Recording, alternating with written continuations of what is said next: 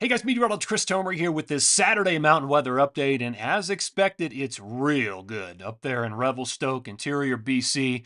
Heavy snow continues today, in fact, across a lot of interior BC. Even the coastal range should get heavy snow. But look at that pot of snow covering the gnome up there on the cam. Uh, they're reporting about a foot of snow. And, and again, there's more accumulation on the way as well. So we're not quite done. But outstanding conditions up there today and likely tomorrow across Revelstoke. Here's radar out of the Pacific Northwest. You can see it. This is our next storm system, obviously, and rain and snow. Snow for parts of the high Cascades, the volcanoes, snow running through the uh, the coastal range of BC, and then overrunning into uh, parts of interior BC over Revelstoke and Red Mountain and Fernie and all those places, Kicking Horse. So that storm system will eventually send a cold front down through the interior on late 8, 9, into early 10. Now, it still looks minor to me, but at least it's going to help to break down this ridge of high pressure that's sitting across most of the Intermountain West. Up in the northeast, you've got another clipper coming. Look at that, coming that snow coming out of Sault Ste. Marie and Saginaw, and eventually that's going to be moving in here uh, with light to moderate snow accumulations across the northeast. So that's coming. Um, let me give you the lay of the land. So here's water vapor satellite imagery, and on this, your oranges and reds are your drier air aloft. The key is going to be in the whites and the blues. So you've got a definite storm system here. You've got another good spiral behind it. So two areas of low pressure. And you've got a nice feed of moisture with both of these storm systems, both of them supported by the jet. So eventually what happens is this first storm system sends that cold front down into the interior, and then this storm system will come in behind it. And actually, the pattern does turn turn quite a bit more active by the time we get into mid-December. Wait till you see that. In fact, let me show you this. So integrated vapor transport. Look at this as a clue to kind of identify when we might see atmospheric river contribution. Well, look down the road. Things start to turn just a little more active. 12, 12 through about 1217. And at times, it's possible some of the members here on this model indicate a weak atmospheric river contribution. It's possible. That would certainly juice up storm systems down the road. And this is valid for that San Francisco Bay corridor all the way up into the into the Tahoe area, the, the Sierra. So this could produce some generous snowfall down the road. And indeed, it's in my forecast.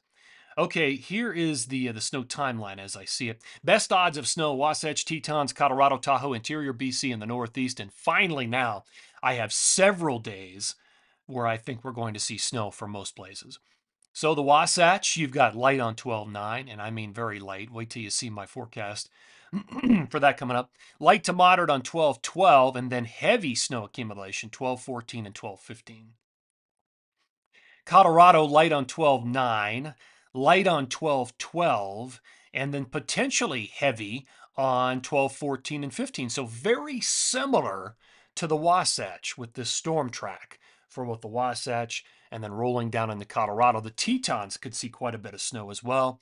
Um, Tahoe, I've got two dates on there for snow, but the heaviest shot for Tahoe is going to be on 1214 and a little bit of an atmospheric river contribution, not out of the question.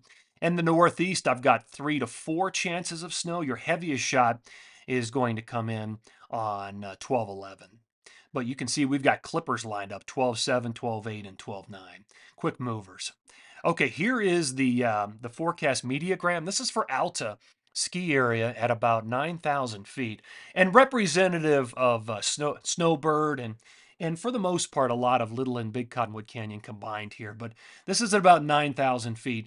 And notice the snowfall forecast. There's not a lot of forecast here. I mean, it's all under an inch.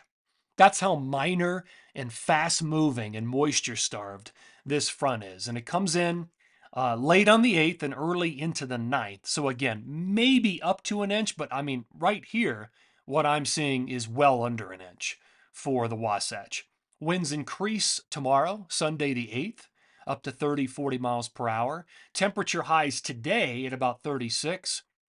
27 tomorrow, so colder at 9,000 at Alta tomorrow, and then only in the teens on Monday during that light snowfall that moves through. So it is going to turn colder. with this cold front that eventually rolls through. All right, let me talk about the jet stream. so here we go. By uh, close of business today, you can already see the little bit of uh, the dip in the jet coming into the Pacific Northwest. Watch what happens. It translates down, digs down to the south, brings in colder air, starts to spark and generate a little bit of snowfall um, across Idaho, Montana, Wyoming, parts of Utah, and eventually Colorado into 12.9 right there. There's your base of the trough. And then that moves through, but that's not it. Look at the jet stream setting up from west to east. We've seen this before, escorting in storm systems.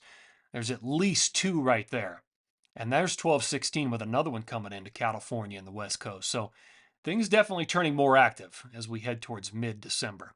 Um, putting some precip, rain and snow on top of all this. So here we are by 5:30 this afternoon. There's your storm system up in the Pacific Northwest with rain and snow.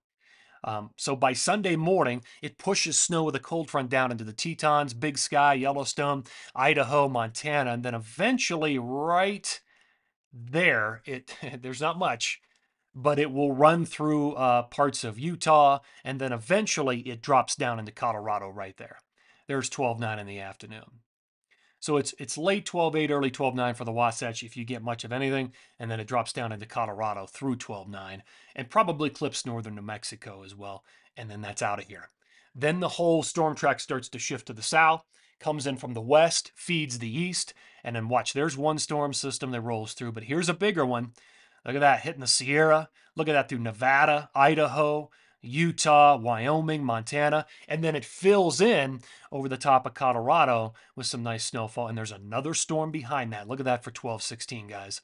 Okay, uh, let's look at snowfall. So, my latest numbers look like this. So, across the West, this runs 12 7. So, all of today through 12 9. This mainly covers this first cold front. And you can see the numbers. They're very light through Colorado, anywhere from potentially one to two across the I 70 corridor north, maybe a little bit more in the southern part of Colorado, with potentially two, three, four, five, six inches down there.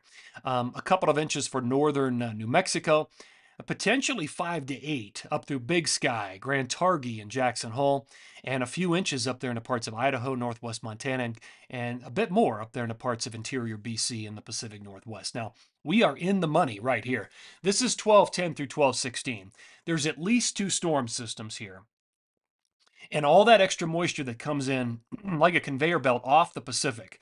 So we're really juicing up the snowfall rates here in this second uh, the second period 1210 through 1216 potentially two or three feet of accumulation through the uh, the Sierra from Shasta to Tahoe down to Mammoth potentially up to two feet one to two feet for the Wasatch um, and also the Tetons in Colorado uh, four to 12 inches potentially on the way especially for the western slope um, some decent numbers through Montana, five to eight in, in, in Idaho, uh, one to two feet for the Pacific Northwest, and some good numbers up through Revelstoke for this period, uh, potentially 10. Red Mountain, about eight, maybe eight for Fernie.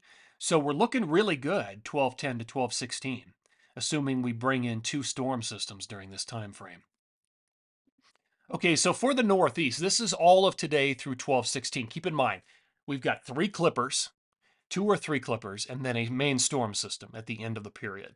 So the snow doesn't all come at one time, but potentially 8 to 12 inches of accumulation.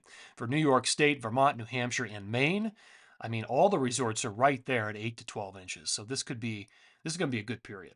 So essentially what's happening is all of the weather is coming off the Pacific right now and moving up into BC and then it's running down into the Great Lakes and pushing these fast moving clippers through the Northeast. So that's the pattern we're seeing now. And that's why we've got some of this snow here. All right, guys. Well, we're going to end on the money map here. This is 1210 through 1216. Again, big totals possible. It's very good to see these returning to the forecast after a very dry seven day stretch for a lot of the lower 48. Keep your fingers crossed, guys. Thanks for tuning in here. I appreciate it. Take care and have a great day.